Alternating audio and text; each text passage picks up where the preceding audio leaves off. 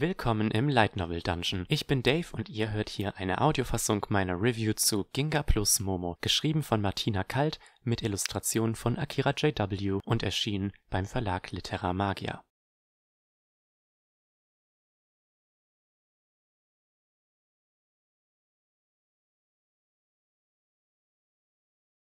Wenn in den Hafenbars von Eger sogar altgediente Weltraumfahrer ihre Geschichten nur im Flüsterton erzählen, gibt es eine junge Frau, die besonders gut zuhört. Momos Herz schlägt für die dunklen Geheimnisse des Universums.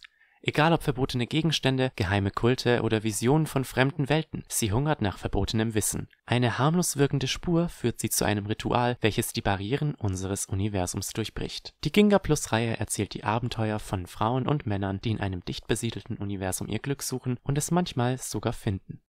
Meine Meinung Deutsche Light Novels an sich sind ja bereits ein seltenes Gut, darum ist es immer wieder eine nette Überraschung, wenn man auf einen Verlag stößt, der es tatsächlich wagt, Light Novels deutscher Autoren zu verlegen. Autorin Martina Kalt präsentiert uns eine Reihe an Space Opera Novellen, die zwar im gleichen Universum angesiedelt sind, aber mit jedem Band die Geschichte einer anderen Hauptfigur erzählen. Zwar handelt es sich hierbei um Science Fiction, ich wurde aber positiv überrascht, dass es hier bei weitem nicht so technisch zugeht wie beim durchschnittlichen Sci-Fi-Werk. Stattdessen überrascht Ginga plus Momo mit einem spannenden, genreunüblichen Twist, der die Geschichte in unvorhersehbare Richtungen führt. Ich habe mir fassungslos an den Kopf gegriffen, als ich gemerkt habe, dass Hinweise auf den Twist bereits seit Anfang des Buches da waren, ich sie nur nicht erkannt habe. Außerdem hat die Novelle es trotz ihrer Kürze geschafft, eine wirklich interessante Science-Fiction-Welt aufzubauen, ohne uns mit technischem Fachchinesisch zu langweilen. Darum sind ihre Geschichten auch für Sci-Fi-Einsteiger geeignet. Meiner Meinung nach hat sie genau den Charme, den ich von einer Space Opera erwarte, und ich freue mich darauf, dieses Universum in den weiteren Bänden erkunden zu können. Die größte Schwäche dieses Buches war meiner Meinung nach die Hauptfigur Momo. Ich hatte die meiste Zeit das Gefühl, sie würde nur eine passive Rolle in der Geschichte einnehmen. An manchen Stellen wurde sie regelrecht vom Plot umhergeschubst. Zwar kann ihr Verhalten durch einige Enthüllungen gegen Ende gewissermaßen entschuldigt werden, jedoch hinterließ es bei mir trotzdem einen bitteren Nachgeschmack.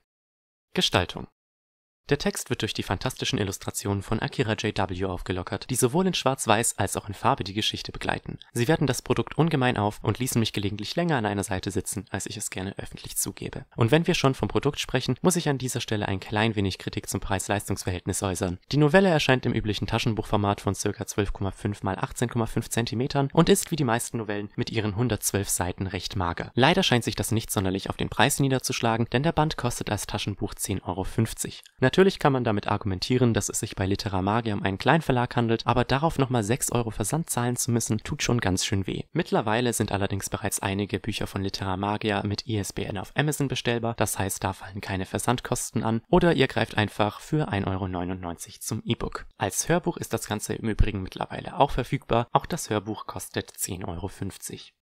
Meine Bewertung die Novelle bietet einen überraschenden Genremix, der sicher jeden unterhalten kann, der etwas für zwischendurch sucht. Und ich kann diese auch Lesern empfehlen, die mit Space Operas oder Science Fiction eher wenig anfangen können. Ich werde die Reihe gerne weiterhin verfolgen. Wenn ihr das Buch auch bereits gelesen habt, könnt ihr uns natürlich gerne einen Kommentar dalassen. Ansonsten, wenn euch das Video gefallen hat, einen Daumen nach oben gehen und am besten auch gleich abonnieren und die Glocke drücken, damit ihr nichts mehr verpasst. Vielen Dank fürs Zuschauen.